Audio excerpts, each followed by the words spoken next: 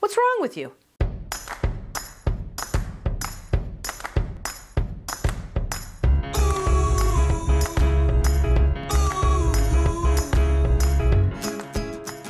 Hey everybody, best-selling author Cheryl Hunter here. Typically we focus on what's wrong with ourselves versus what is right. Meaning, if you think you need to, for example, lose weight and you're focused heavily upon that, then you're not looking at what is right with your body right now, that it's strong and able and serving you. What if the only thing wrong with you is that you think something is? But that may be easier said than done. So, how do you face it when you're overwhelmed with thoughts of all the things you'd like to change or you wish were different about you? Here are four surefire steps. Number one, stop and focus on everything that's right about you.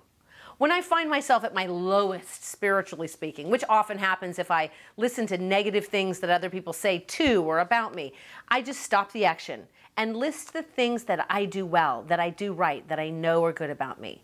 Do the same thing, but make sure to come up with a list of things that are from the inside versus things that come from without. Number two, speaking of negative Nellies, don't take on anyone else's BS. If someone criticizes you, thinks that you're bad or not good enough or wants you to change, know that that has everything to do with them and nothing to do with you. Do not believe it. Number three, acknowledge that you have survived every single thing you've handled so far. Like, no kidding, your track rate for survival is 100%. Really take to heart that everything you need to get through this current challenge is within you right now. Number four, be kind to yourself. Once you take yourself off the whipping post, you can soften and be sweet to yourself and take a moment to reacquaint yourself with some of your best qualities. Be sweet. Be kind to yourself. You've been hard enough as it is.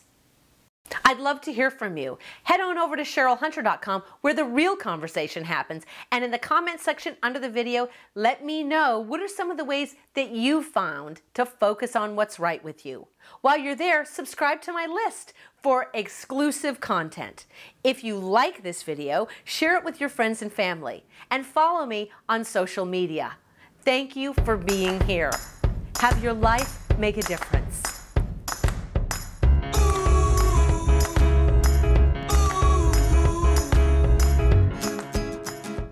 You've worked out every day this week. Awesome.